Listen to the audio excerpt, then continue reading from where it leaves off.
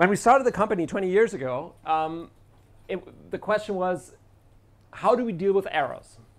And, and everyone kind of vaguely knows, yeah, we have to do some error checking here and there, but we, we kind of needed a rigorous approach. What do we, what do, we do? How, what do we teach to our developers? How should they deal with errors? And this is what, we, um, what I want to show you today. So the problem is clear. Errors can happen anywhere. Um, and, and we all want a reliable program. And in, in case of think-cell, in, it's, it's running on top of PowerPoint. So PowerPoint is terribly buggy. And then you have other add-ins running also inside of PowerPoint. They run in the same address space, so they're kind of like you have to get along with them. And uh, so that all creates a very good breeding ground for all kinds of obscure bugs that occur.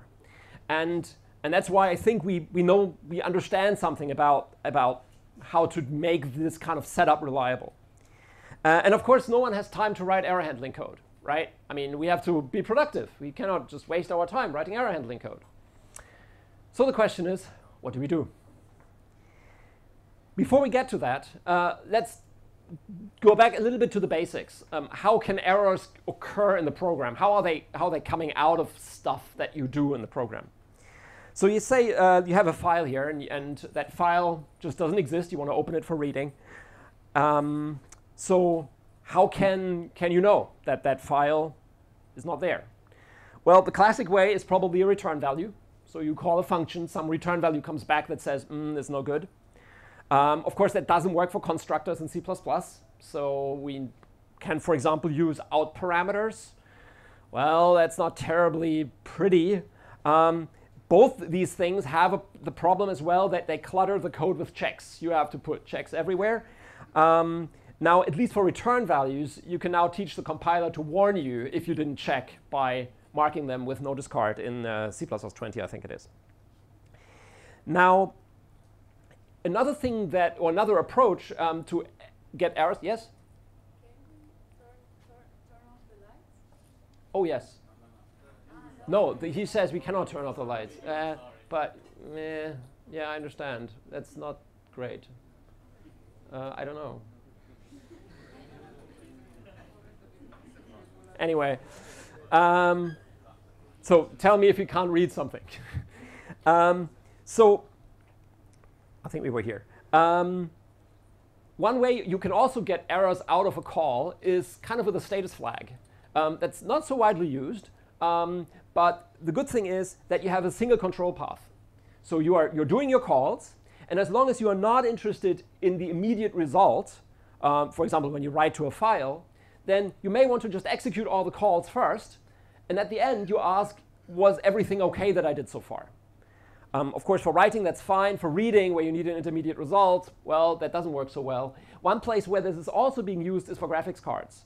So when you're making graphics output, you write your whole frame to the graphics card, and at the very end, you, say, you, you ask, well, was, was everything OK?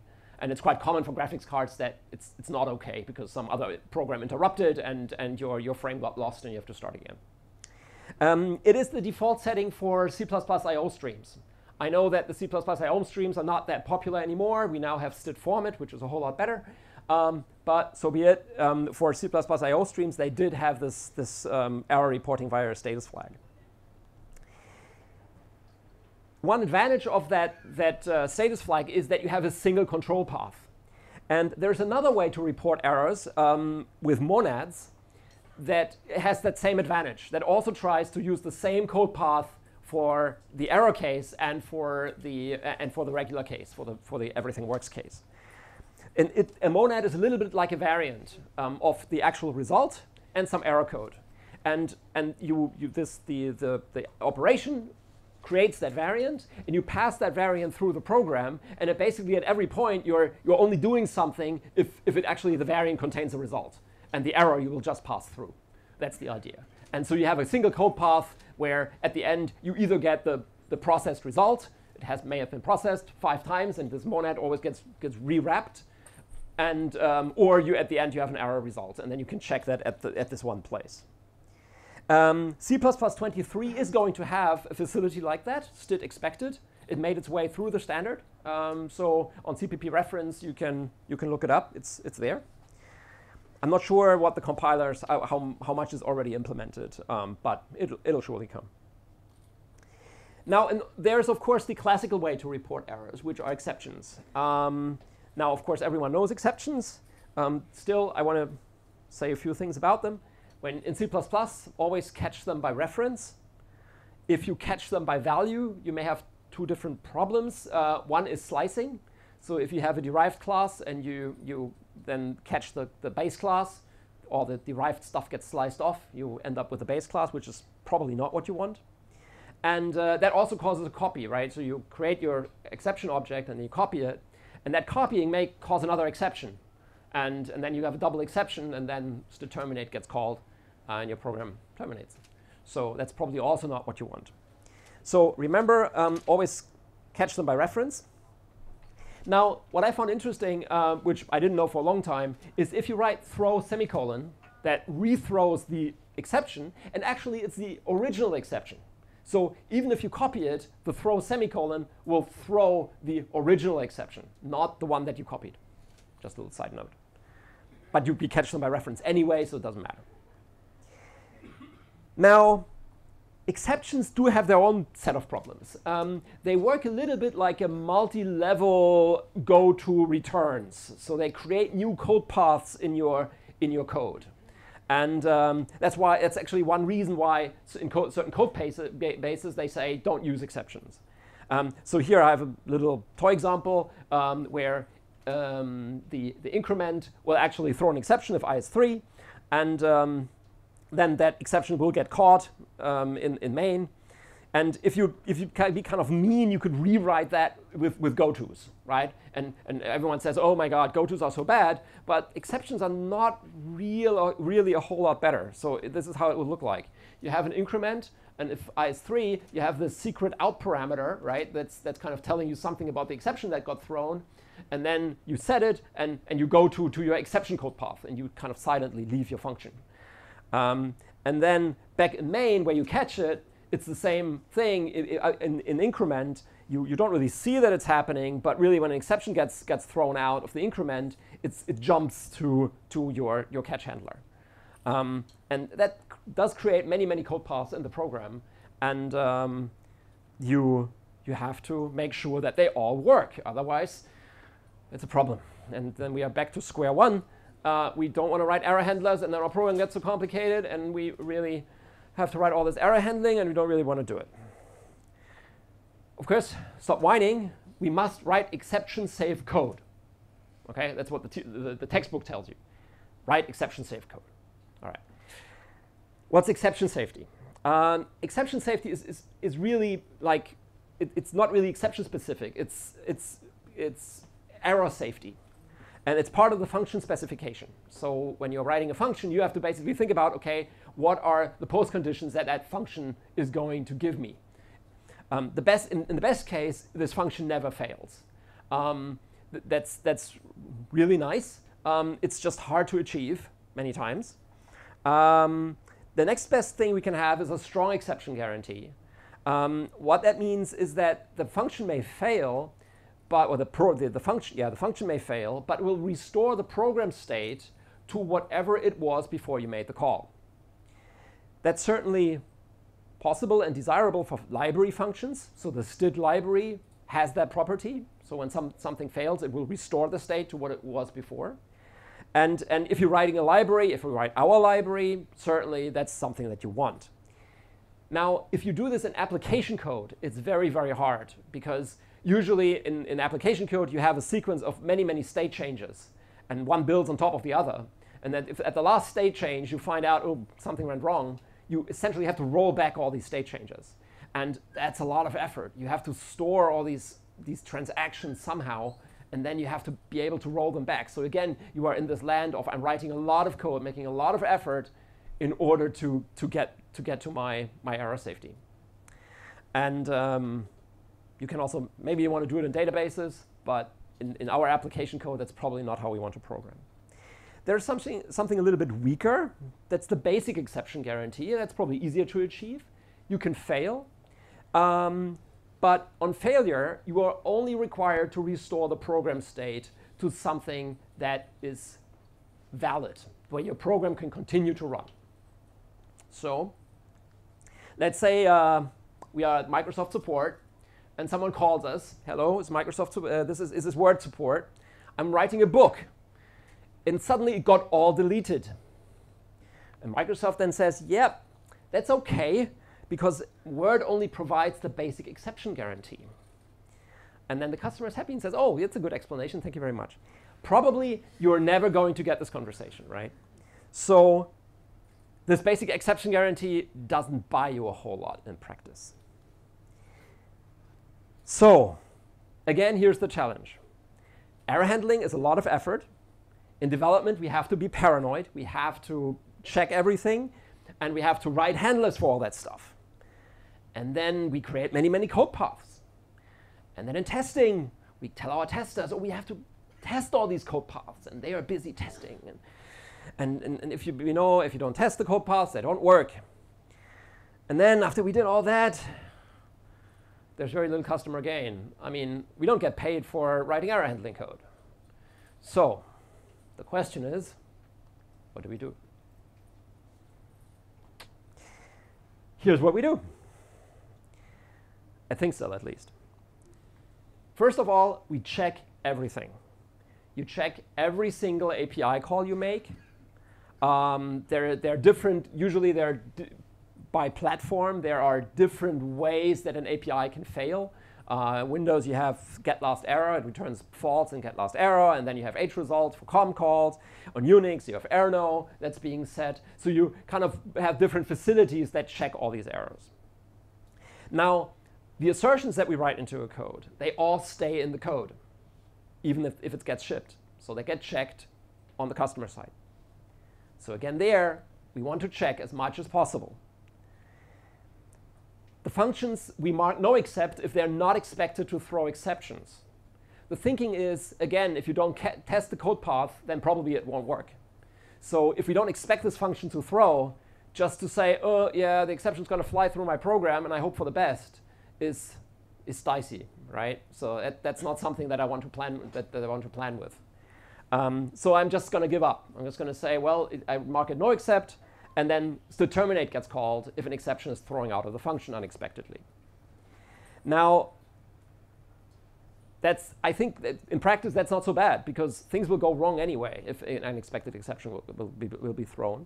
The advantage is that you can install a handler set with, uh, with set terminate. You can install a handler where you can actually do some debugging. You again can check whether this, this, this condition actually occurred. You can provide some information about it. So we check everything. And after we checked everything, and we know when things fail, we assume that everything works. Now, question is, of course, what do you do when things don't work? The, the goal here is you keep the set of, uh, of, of code paths small. By assuming that everything works, we don't have to write any all these error handling code um, we, we don't have to create all these code paths. We don't have an explosion in the number of program states because every time something doesn't work, the state of the program has to kind of accommodate that. It needs to, it needs to possibly remember that things didn't work. So we don't have any of that. That's why we say everything works. But sometimes things don't work. So what do you do if things don't work?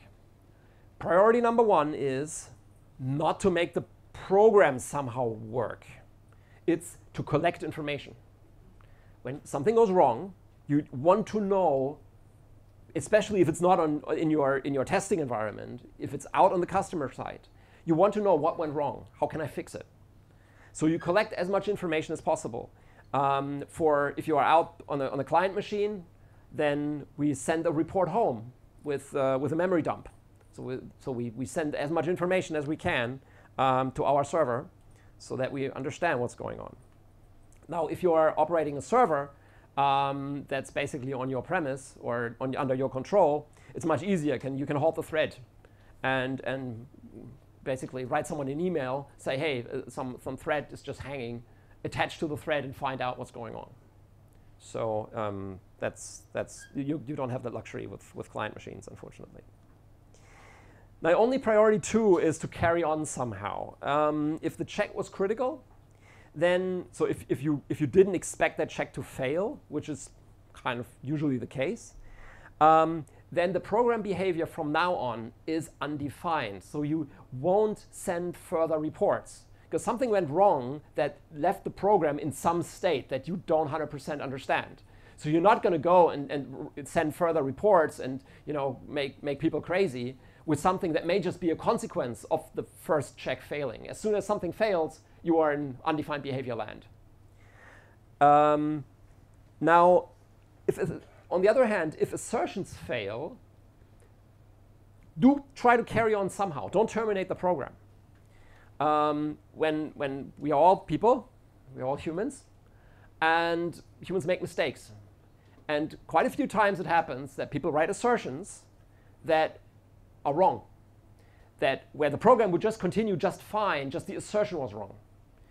It happens quite frequently. So my recommendation is don't terminate on asserts, even if they fail. Just carry on. Hope for the best. Again, you are still in undefined behavior land. You didn't design for that. But quite a few times it, it will just be okay. The advantage is if you, if you carry on, people are also more encouraged to write aggressive asserts, what you want. So you want to basically tell all the developers should, be, should never be penalized for writing a wrong assert. Because you know, an assert will just strengthen your understanding about the program. And if you discourage people from writing them because you'll terminate the program or you, are, you make customers unhappy, then people won't write them, and then you won't get that extra information about your program. You will not have these, these, this, this level of security. Now, if you need actually, of course, people say, oh my God, if an assertion fails, then maybe my program is undefined, and it corrupts data, and then patients die, and so on. Um, so I think if you need safety, um, then, then you have to add this at a higher level. You have to basically have a watchdog sitting there and saying, is what my program is doing, is that reasonable? Or is, is something very bad is going to happen? Um, for example, our server has, has, different kinds of requests that are, that are sent to the server.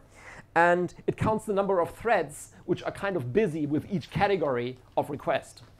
And when a certain category exceeds a certain, a certain, a certain count, a certain thread count, it will just stop serving that kind of requests so that you don't like basically load up all the server with your, with your hanging program. So that's, that's something you, you add at a higher level. You, you, that's, that's not what the assertions are for.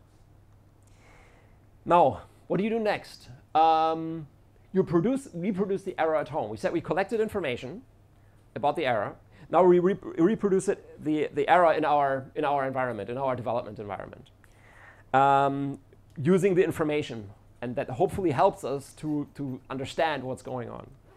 Now, you only ever add handling code to errors that you can actually reproduce. Because if you cannot reproduce them, then they are, they are probably doing the wrong thing. You don't understand fully the error, and you don't really how, know how to deal with it. Only when you reproduce the error, it's like, OK, now I have it. Then you can actually write good error handling code. Um, and, the, and, and the, again, um, you can also not test them if you cannot reproduce the error, right? You, there's, a, there no, there's no realistic test that, that, that will tell you whether your error handling works or not. Now, and this is basically the key part of the talk, 5% of the error handlers handle 95% of the errors. So how do you get reliable programs? It's not by handling all the errors that occur in your program. There are, there are errors caused by, by cosmic rays hitting a RAM and, and, and you can see them. They are like errors that occur with a million people that occur once um, in, in, in years. You won't fix those. It's, it's not important. That's not going to be the big impact. You want to find out which are the ones which are frequent, and you're going to fix them and, and, and, and have an error handling code for them. Now, and here it's important that these frequent errors have high quality error handling code. So we had once the case um, we used a Microsoft component um, to parse XML. And we had reports from the field that that, that XML component wouldn't load. And we reproduced it in our, in our lab, and it was, um, and, and we could actually fix it by re-registering the, the, the Microsoft component with the registry. It was simply the registry was corrupt. And by re-registering the component, we could actually fix the problem. Now you turn that, that loading XML uh, function from a, yes, it does fail sometimes and I have to somehow deal with it, suddenly into a never fails function. Because whenever this thing didn't load, you just re-registered your component with the registry, which worked pretty much all the time. And then the problem was solved. And that's, that's kind of the ideal error handling code you want to write. These, these things where the problem is fixed and you don't have to deal with that condition in the rest of the program.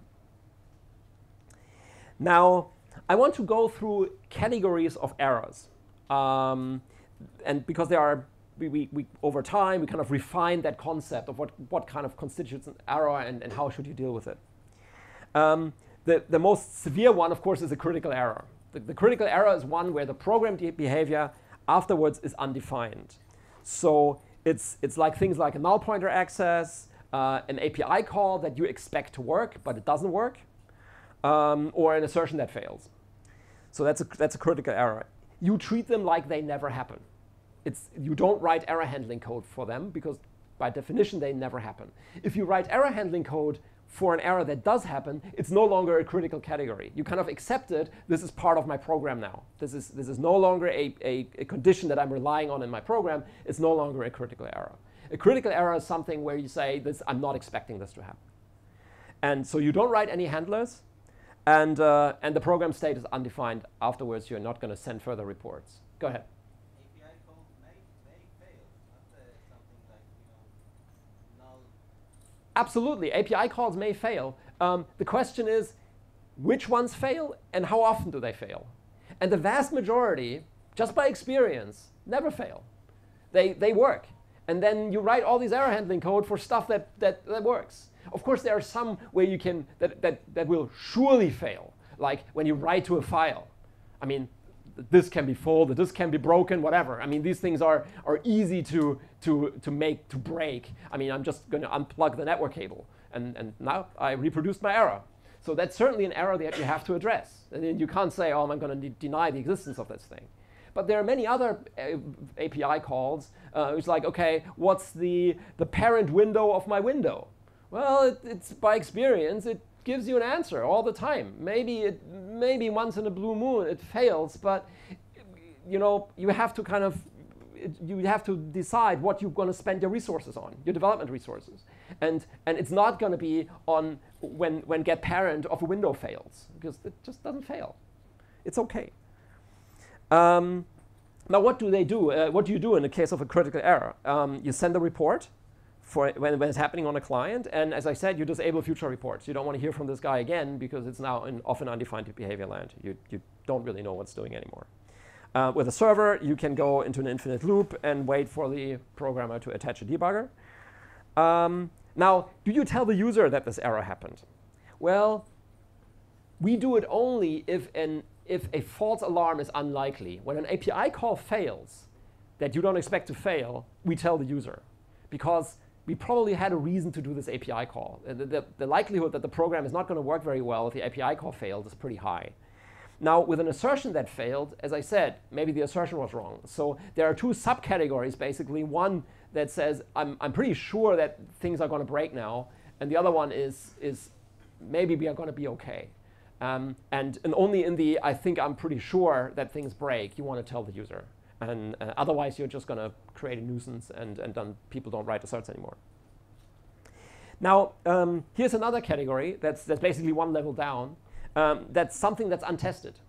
You never had that, that uh, and, and, and this is the vast majority of errors that you have in your program. This is the, the, the vast majority of checking you are going to do. Um, everything else, it's, it's either that or it's completely defined behavior. So in, in, in this categorization, a uh, file got deleted, uh, a file is not there when I open it, is not, an not considered an error. It's just normal program operation. So you don't need to report. You don't need to do anything. It's, it's just what the program should do. It's fine.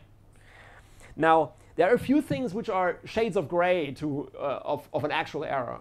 Um, like a situation that you've never seen, that you've never, that you, that you suspect exists um, and is documented to exist, but you, you have never seen it in actual practice.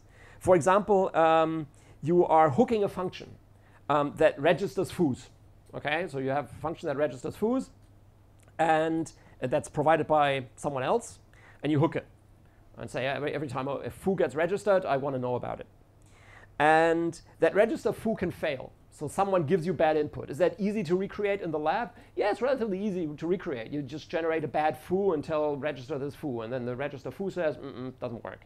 So you kind of recreated that error. But, um, but still, you've never seen it in your actual environment. PowerPoint never did this. Okay. Um, now that would be a, a case where you may want to know about it because you don't have a reproduction for register foo failing in the actual environment that you're operating in, and you don't know what PowerPoint is going to do if this register foo fails. Right? So probably it's interesting to know about it.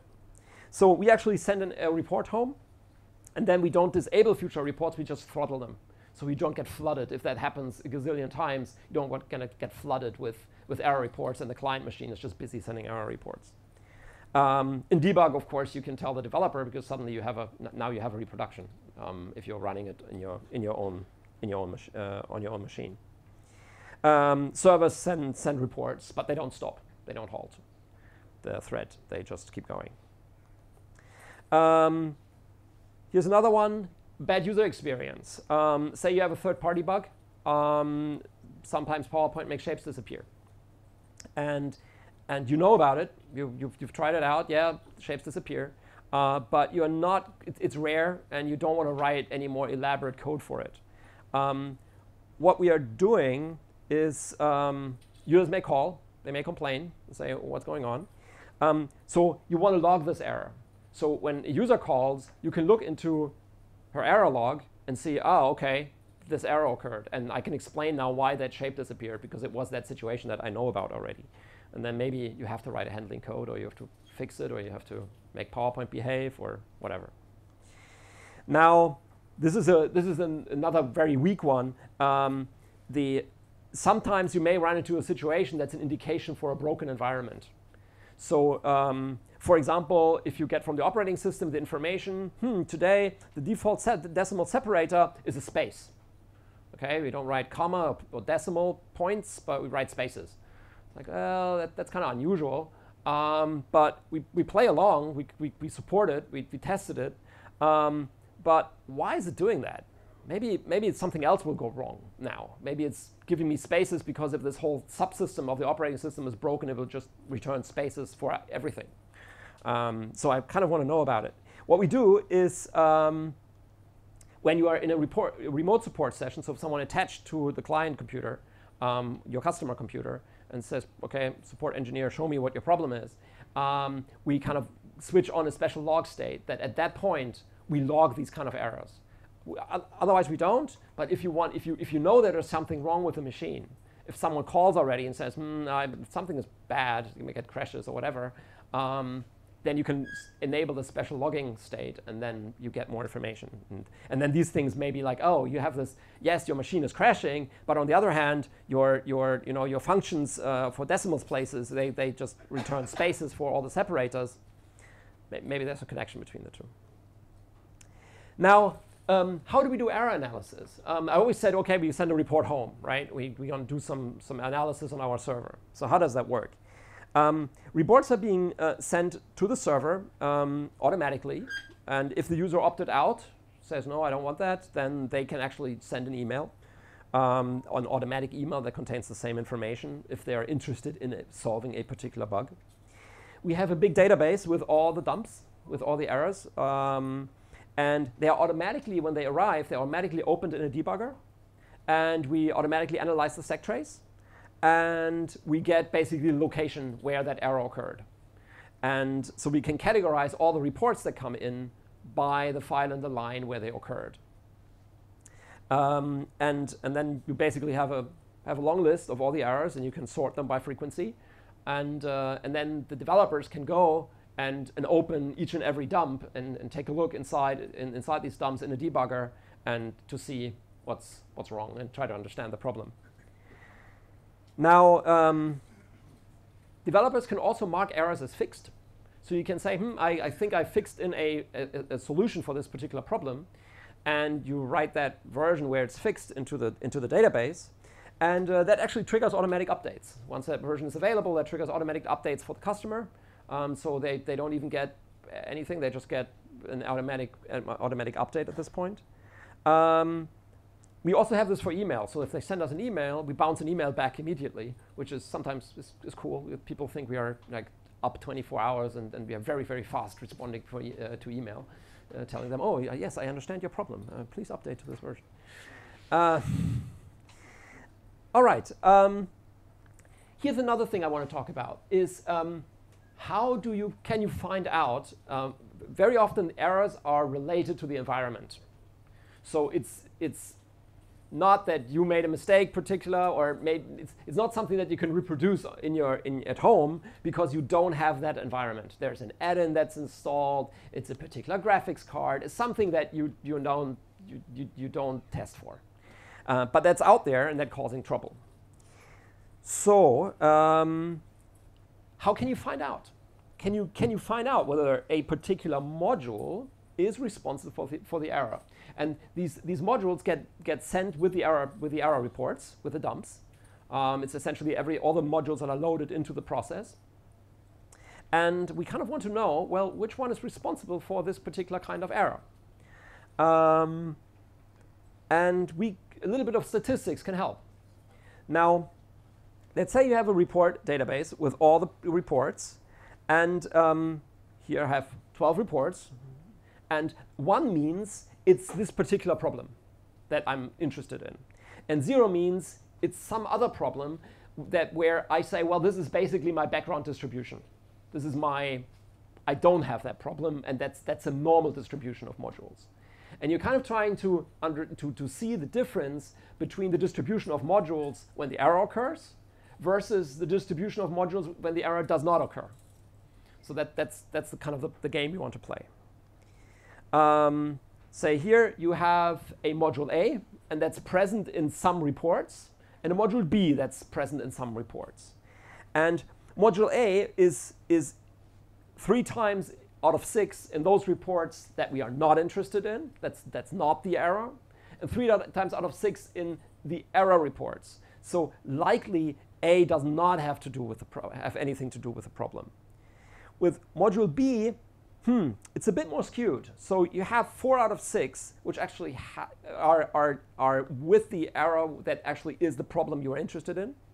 And it's only occurring two out of six times with the reports that you're currently not interested in. So background distribution. So you could say, well, yeah, B is a bit more frequent in the error cases. Um, is that is that is, is B maybe the culprit? Hmm. Let's see. Um, how can we decide? Is that chance that it's four out of six, or is it, is it something substantial? Now, here's the idea. Um, we use minimum description length. I And at that we try to do everything very rigorous and very mathematical and, and correct. So we said, OK, what's the, what's the theoretical foundation of, of what we are doing here? Um, and the idea is that if some module has to do with a problem, this, then if you take all the reports that have that module and try to compress the information if this report has the problem, so you have zero, a sequence of zero and ones, and you know all of them have that particular module, then the statistics of the zero and ones should be different from the statistics where that module is not present. So the idea is I can either say, hmm, this, I can either say this module has nothing to do with the problem, and I'm just going to disregard its presence and just going to compress that stream of zero and ones. Or I can say, OK, the module has to do with the problem, and I, I, I use it to improve my compression. I use it to basically explain the world, explain my, my data? It's, uh, it's coming from our error reports. So you get just the, the, the, the users, just whenever they run into a problem and they haven't opted out, they send us a memory dump. And in the memory dump, they have the list of modules. So over time, you're collecting thousands of, of occurrences of bugs. And they all contain what kind of modules they had. And now you can see, and, and before we kind of poked into them and, and, looked at the module list and said, hmm, maybe this module here appears here, and let's try this one, and maybe here we have it. But we want to automate that. Don't we want to have a rigorous process where, right, when you have the list of now, when you have a list of errors, it tells you my best guess why this error occurs is this module. And for all the errors. Um, sometimes there's nothing to do, then you get some generic module like Excel or PowerPoint or whatever. But sometimes it's quite, it's standing out. It's like, oh, it's the SAP add-in again. Um, so how does this work? Um, say you, how, how do we compress, first of all? Um, we compress this stream of zero and ones uh, with arithmetic compression. And that's, um, and, and, we estimate that, that we, we do the compression with a Laplacian estimator. Um, so the idea is you are estimating the probability that in this string of zero and ones you get a one or a zero.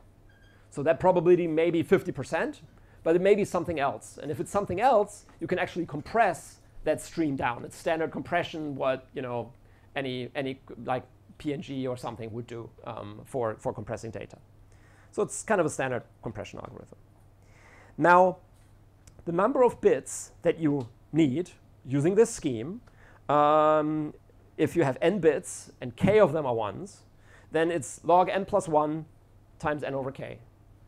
And um, just to give you some numbers, uh, the number of bits becomes smaller when p is closer to 0 or 1, as I said. So if you have 12 bits with six ones, then you see, need 13.5 bits. So it's more than 12 bits because, I mean, every, every compression scheme has to make some set of the data larger. Right? Some, some choices of your data are going to get larger for other choices to get smaller. So here, the, the, the 6 bits out of 12 is kind of the worst case. There, you are spending 1.5 bits more than you spent previously. But if in the ideal case, if you have 12 bits with no ones at all, you get 3.7 bits. So you compressed quite a bit. Now, we are doing compression. So as I said, compressing all the reports together is 13.55 bits. Okay. Now, we make use of module A. The key here is we have to transmit that we use module A and not module B for our prediction. And this is kind of why we do all this stuff. Because if you are generating lots of hypotheses about what could be responsible for this bug. So it means like any modules, and there are hundreds of modules, and there are many, many different kinds of things that you could see in your in your in your um, in your dumps, which may correlate with the error. But you don't really know is that correlation chance or is that something substantial? And that's what we want to tell apart. And that's why we need to need to make sure that our hypothesis is encoded in that scheme. And this is what we do here. So we choose A over B, which is one bit. And then we compress all the reports with A. That's 7.13 bits, three, three out of six ones. And then all the ones without, also 7.13. We sum it all up, we get 15.26 bits, which is more than our 13.55. So A has nothing to do with the problem. Now, if you do the same thing with module B, well, it also doesn't quite add up. So the 4 out of 6 still requires 6.71 bits. And if you add it, add it all up, you end up with 14.43 bits. So you could say 4 out of 6 is statistically not enough to say this report, uh, this, this module really has to do with a problem. Now we go one step more. Uh, we have mod a module C, a third module. Now, since we have three modules now, we have to choose one out of three. So now it's the um, true logarithm of three bits that we need to transmit our choice. So it's 1.58 bits, right? There. Um, but now the compressing is, is going to make it smaller, 5.39 bits. And if you add it all up, you end up with 12.37. So the machine would say this is actually relevant. And, and so for every choice you make, you not only get, OK, is this relevant or not, but you also get this, this difference in the number of bits as a number that says, OK, this is how relevant this actually is.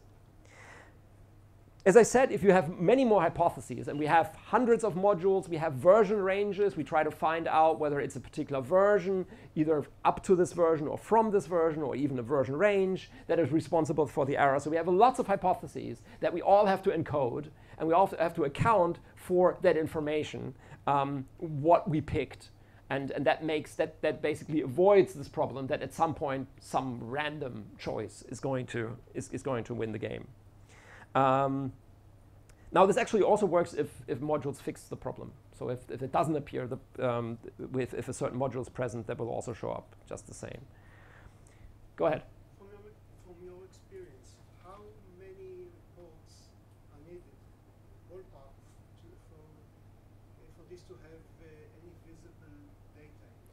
it's if- for us the number it, it was this was never a problem because the the um, with at least with I mean we have a million users um, and and we always collect enough reports to this become statistically significant. Um, so if the the ones where it's basically it's more that the occurrence number is so low at some point that this is that we just don't bother maybe looking at the bug. Um, I mean, if it's obvious, then we're still going to fix it. But but if it's a complicated bug that's not immediately obvious and it only occurs, you know, 30 times, then that, that's not enough. I mean, the, the, the big ones occur thousands of times. And, and, and so this was never a problem. We always collect enough data to, to make that decision, really. Um, but it, there is, of course, a, a big difference in the, in, the, in, the, in the gain and the number of bits um, where yeah, how confident you are that this is actually the problem. And, and they are clearly, uh, in some situations, it just makes a random choice. And, and it's, it's, you can see them, the, the bit difference is small. So it's, it, it, that's not significant. But, but one of the things, one of the favorite ones, like, you know, the SAP add-in, you're going to see it's going to light up like. So, um, yes. So that almost brings me to the end of the talk. I want to talk about one more thing, um, which are C++20 contracts. Um, they were a new language feature. Um, it's essentially an assert on steroids. Um, the idea is that these contracts, you, you, that you can make de- declarative function pre and post conditions. You can write them down. There's a syntax for it, and um, and and there, there was so the idea is you, you have more support for for expressing these things in the language other than just writing asserts. Um, the problem actually was um, there, there are many questions associated with it. When do you want to check the contract? Do you want to check it in debug? Do you want to check it in release? Do you want to check it at all, or is it just pure documentation? Um, what do you do if a contract is violated? Um, do you terminate the program? Do you carry on? Do you report? What to whom? All these questions um, at the end led to it being removed from C++20 at the last moment. They, there was just no agreement, and, and I think this talk kind of shines a light on, on all these questions that arise. And um, I'm not sure where the discussion is for C++23, but I think they're not in C++23 as far as I know. Maybe for 26, let's see. All right, thank you very much. Uh, and uh, yes, we are recruiting. We are based in Berlin, but we also have uh, remote positions. So whatever you like, that's why we're doing all this. And uh, if there are any questions, go ahead.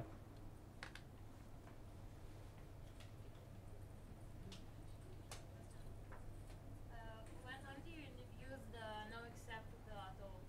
If you're not expecting uh, uh, growth, We are very aggressive. We are very aggressive with it. So whenever there's basically, we, we don't expect an exceptions to be thrown out of a function, we rewrite noexcept. I know that there's, there are disagreements on whether to do this or not, uh, but that's, that's our position on it. We, we write noexcept es- essentially every function unless you know it's going to throw an exception in some situations. Um, you uh, the fallback a, a default handler for the no except?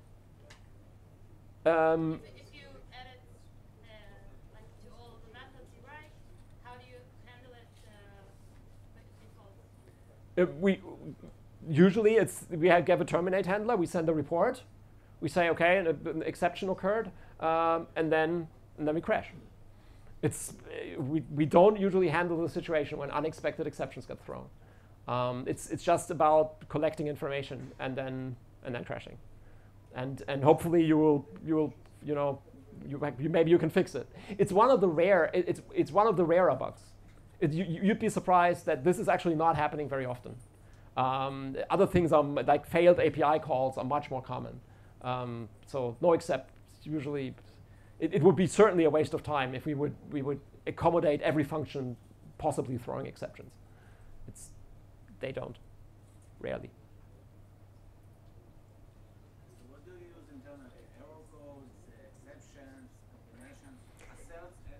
uh, anything that goes. Um, I, I don't have I don't have any particular I- I'm not, not religious about you know what kind of error reporting mechanism to use.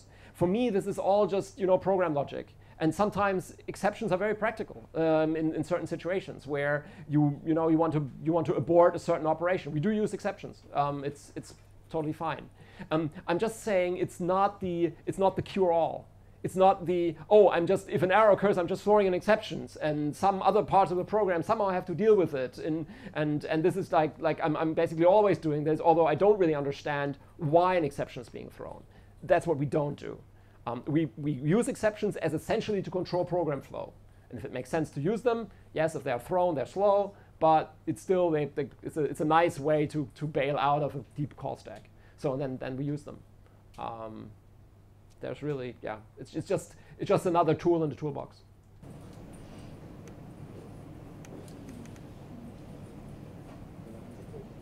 Else?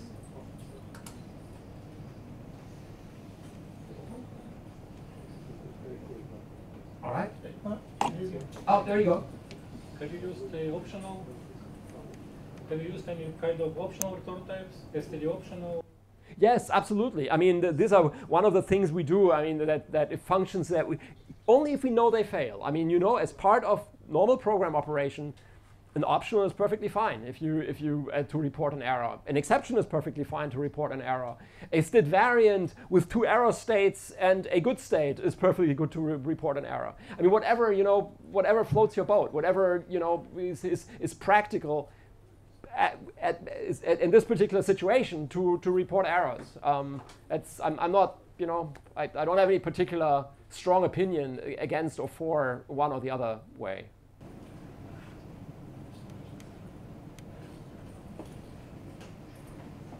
All right, thank you very much.